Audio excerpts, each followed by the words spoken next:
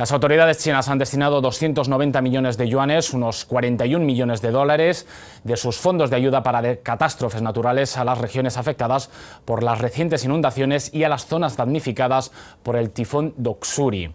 90 millones de yuanes se destinarán a las provincias de Fujian, Guangdong y Zhejiang y 200 millones irán a parar a las regiones de Sichuan y Mongolia Interior, dos territorios bastante afectados por las inundaciones y periodos de sequía.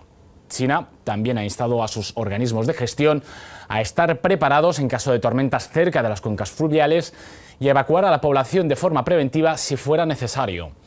El tifón Doksuri, el quinto de este año, es mucho más fuerte e intenso de lo previsto.